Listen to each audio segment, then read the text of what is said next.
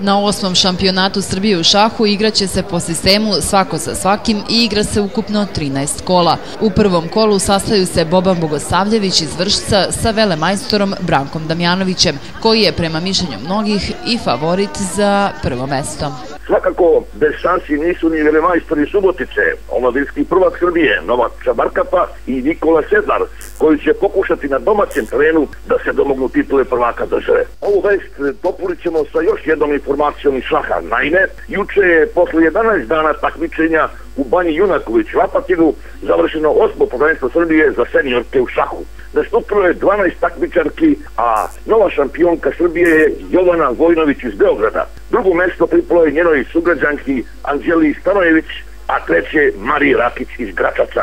Za kanal 9 iz Subotice, Milan Grbić. Ovo je prvi šampionat države koji se održava u Subotici posle više od 14 godina. Na turniru je prisutan i novi selektor šahovske reprezentacije Srbije. Ukupan nagradni fond turnira je 410.000 dinara, a prvaku će pripasti 120.000 dinara.